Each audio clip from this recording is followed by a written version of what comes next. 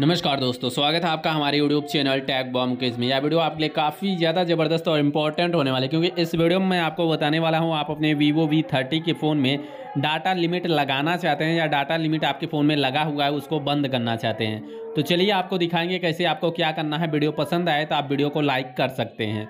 तो यहाँ पे दोस्तों, सबसे पहले हम अपने फ़ोन में शेडिंग ओपन करेंगे। शेडिंग ओपन करने के बाद कुछ ऐसा इंटरफेस हमारे स्क्रीन पे देखने को मिल जाएगा। अब दोस्तों, सबसे इजी और सबसे सही तरीका है, आपको सबसे ऊपर सर्च बार मिलता है। आपको सर्च बार पे क्लिक करना है सर्च करने के लिए ऑप्शन मिल जाएगा। आपको यहाँ पे लिखना है limit L I M I T limit लिख के आप सर्च करते हो, यहाँ पे ऊपर आपको एक ऑप्शन मिल जाता है डाटा लिमिट नाम से।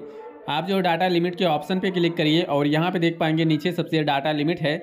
इसको आप यहाँ पे लगाना चाहते हैं सेट डाटा लिमिट को ऑन कर देंगे और जितना डाटा डाटा लिमिट सेट करना सेट कर सकते हैं। बंद करना तो इसे बंद भी कर सकते हैं।